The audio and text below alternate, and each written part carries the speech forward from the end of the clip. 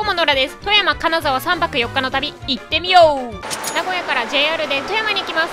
4時間で到着しました。まずは早速お昼ご飯を食べたいと思います。富山の宝石白エビです。錦糸卵の上にこれでもかというぐらい白エビが乗っております。やばい甘い。すっごい美味しすぎました。ホタルイカもめちゃくちゃコリコリで美味しかった。路面電車に乗ってホテルへ向かいます。が本日の宿アナクラウンプラザホテル富山です。お部屋の中は清潔で過ごしやすい。最高。早速富山観光へ向かいます。ホテル出て目の前が富山城。ありがとうございます。富山城楽しかった。お茶どころで休憩します。お抹茶と和菓子をいただきました。大きな窓があり庭園を眺めながらの一服最高ですね。次は総川商店街を通り富山市ガラス美術館に来ました。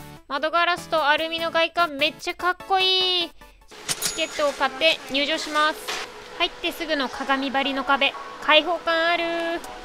すごい吹き抜け。気持ちいい。3階から5階は市営図書館。ここで作業できるなんて最高じゃん。こちらが常設展。ガラスと光が織りなす芸術。柔らかさや繊細さが表現されてて感動する作品でした。富岩運河冠水公園のスターバックスに来ました。世界一の景観だけあってこの運河のパノラマ最高です。いつものスタバが300倍美味しく感じました。素敵な公園でした。夕食はブラックラーメンを食べます。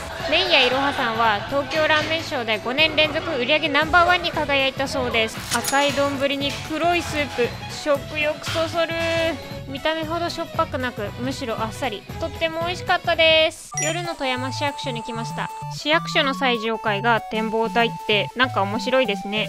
夜景綺麗でした。立山連峰が見えるお昼にも登ってみたい。一日楽しかった。おやすみなさい。山県美術館に向かっています。外観のかっこよさがすごい。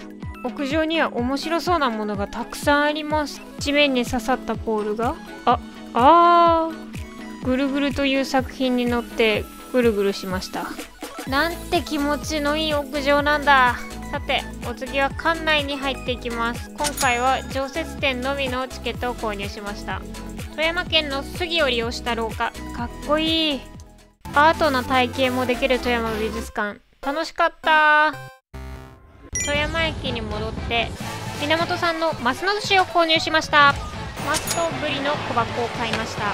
食べやすいサイズですね。身の締まったマスと酢飯。間違いない。ブリはカブと人参が爽やかさ出してて相性最高。富山楽しかった。ありがとう。富山メーカーも買ったよ。さあお次は金沢に向かいます。金沢着いたこれがもてなしドームか。すごい迫力。鼓も大きい。足もすごい太いガスめっちゃある主な停車駅変えてくれてるから初めてでも分かりやすい。早速バスに乗ってホテルに向かいます。ホテル到着しました。こちらのオム5は2022年5月にできたばかり。チェックイン時間より早く着いてしまったので荷物を置いて早速市内観光へ GO! まず最初は兼六園に来ました。趣のある建物が並んでいます。金沢らしい。なんと美味しそうなかき氷。パフェもある。アイスカフェオレにお抹茶。全部美味しそう。早速中に入っちゃいました。大きい窓から光が差し込んで気持ちいいです。来ました。贅沢抹茶かき氷です。金沢氷室というブランド氷を使用した贅沢なかき氷。早速食べてみます。うまーい。こちらが抹茶エスプーマ。ちょっとすくって一緒に食べてみます。あー最高。美味しいです。あんこと一緒に食べたり濃密な抹茶あんと一緒に食べたり最後まで楽しく食べきりました美味しかったです。こちらが兼六園のシンボル琴路灯籠2本の足の長さはもともと一緒だったんですが何らかの原因で折れてしまったそう。そこで左右非対称も粋じゃね？となり現在の形で残っているそうです。こちらは自然の力のみで吹き上がる噴水。電気のない時代にこれを作ったなんて考えた人天才。はい次の場所行く兼六園お隣の石浦神社に来ました。こちらは縁結びの神社として有名だそう。絵馬の小道を通ります風鈴が涼しげで癒されました。お次は21世紀美術館。色の三原色が重なり合った作品。見る場所によって色が変わるのが楽しい。こちらの球体は内側と外側で見え方が全然違って面白い。うさぎの耳の形をした椅子。かわいいですね。有名なスイミングプールはまさかのメンテナンス中。いつか絶対また行くね。お次は茶屋街へ向かいます。すごい。奥まで趣のある建物がずらっと並んでます。小道に入ると現代的な建物が見えなくなってタイムスリップしたような気持ちになりました。日が暮れてきたのでバースでホテルに帰ります。こちらのホテルは星野リゾートプロデュース。ロビーはモダンでおしゃれ。朝食会場兼カフェもありとっても気持ちのいい空間です。黒いところにカードを載せるとカードキーに変身。すごい。お部屋はこんな感じ。金沢らしいクッションやアートが飾ってあってテンション上がる。ベッドの隣にはふかふかのソファーと大きいテーブル。バストイレ別でトイレは最新式。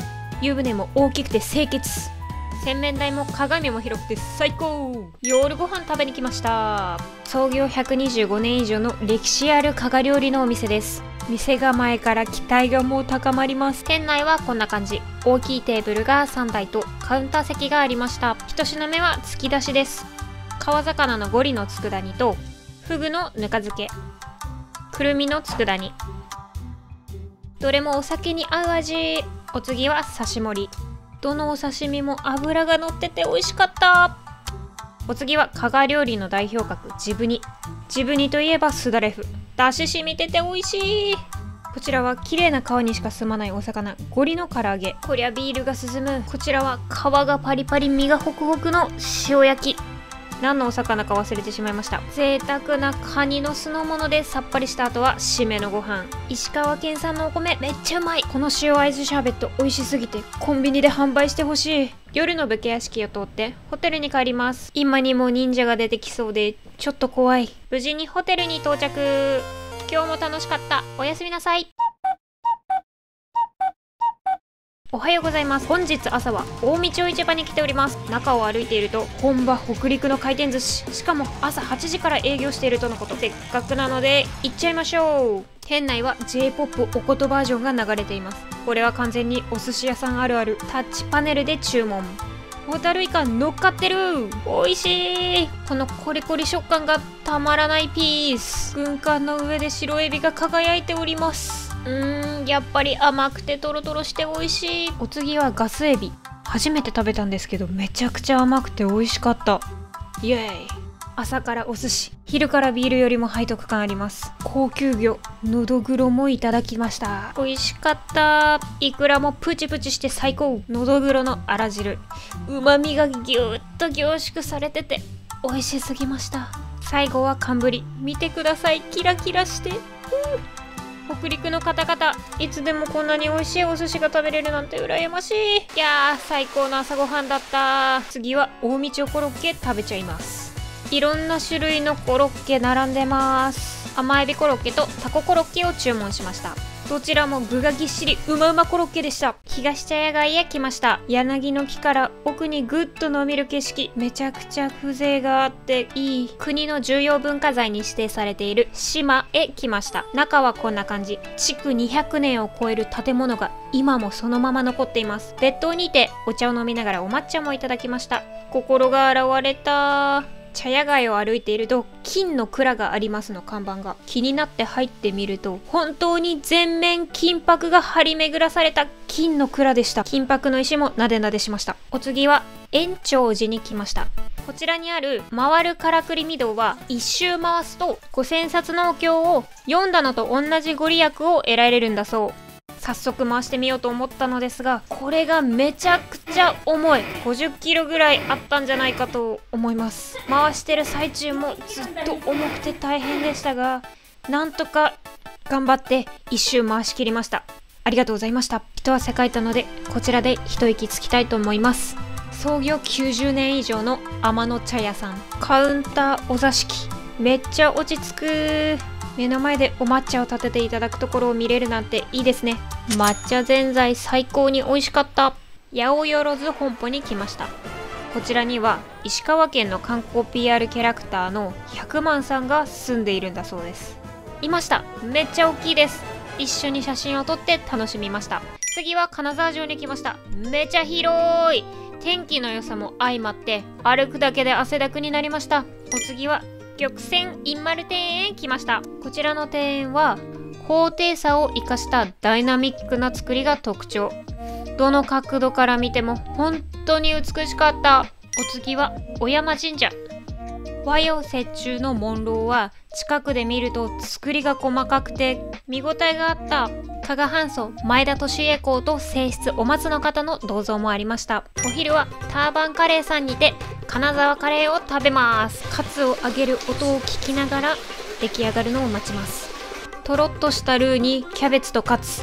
うますぎる。武家屋敷跡エリアにある野村家にやってまいりました。入ってすぐ実際に使われた甲冑が当時の中流武士の暮らしを想像しながら見学しました。こんな美しいお庭のある家住んでみたいお腹が空いたので夜ご飯を食べます。昭和11年創業のおでん高砂さん。なんと値段は全て時価。庶民の私は一瞬ひるみました。がせっかくの旅行なので9品注文しました。倍貝車風金沢ひろず大根卵たけのこさつま揚げ赤羽弁。優しい出汁がしみしみでグッと気になるお会計は4500円でした。食後のデザートに加賀風のスイーツを食べに来ました。ふむろ屋さんです。車風のフレンチトーストです。ふわふわでもちもちでつるんとしてて新食感でした。豆乳アイスとホイップクリームメープルシロップとの相性も最高だった。今日も一日楽しかった。明日も楽しむぞ。おやすみ。くんないよいよ北陸旅行最終日。出発。まずはバスに乗って金沢駅に向かいます。10分程度で到着しました。会社家族友人へお土産を爆買いします。さあ次の目的地に向かいましょう。妙隆寺通称忍者寺に来ました。なぜこちらのお寺が忍者寺と呼ばれるかと言いますと入り口にあるお賽銭箱が実は落とし穴。落ちたら最後やられます。こちらの何の変哲もない階段実は障子が貼ってあって障子の向こうに人影が見えたら突き刺します。このような仕掛けが何個もあって本当に楽しかった。さあ次は西茶屋街へ向かいます。こちらの茶屋街は他の茶屋街と比べて少しこじんまりとしています。お目当ての甘納豆川村さんで賞味期限6分もなかをいただきます。もなかがすっごいパリパリ。これが賞味期限6分の理由なんですね。JR の時間に間に合うよう急いで金沢駅に戻りました。無事 JR に乗りゆっくりお弁当をいただきます。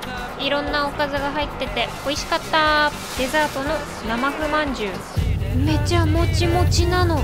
富山も金沢もとっても楽しかった。ご視聴ありがとうございました。高評価チャンネル登録。よろしくお願いします。